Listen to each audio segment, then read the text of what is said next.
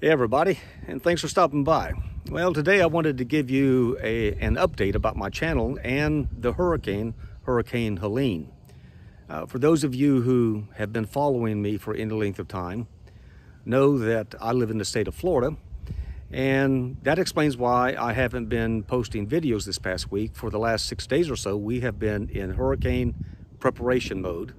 And I'm glad to report this morning that the hurricane did miss my area we only experienced some of the outer bands, winds and rain, and so it caused no damage for us. In fact, the air is cool and clear this morning. You can see the sky behind me.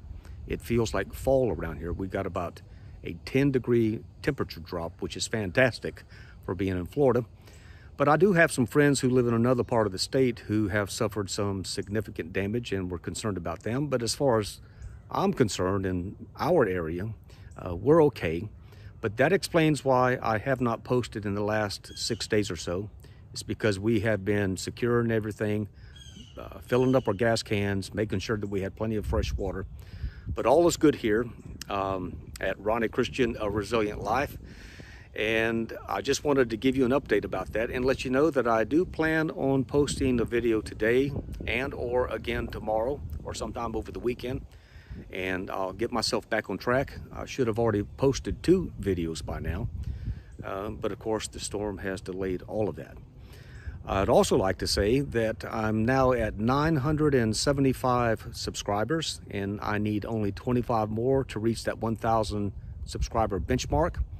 And if you're not a part of our online community here, let me encourage you to subscribe. And for those of you who are subscribers, I want to thank you very much for making this channel possible and I hope to continue to bring you good content that you will enjoy.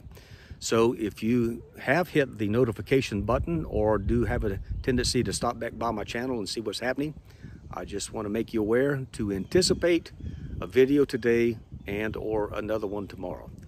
Thanks a lot. Thanks for stopping by. Take care and we'll see you soon.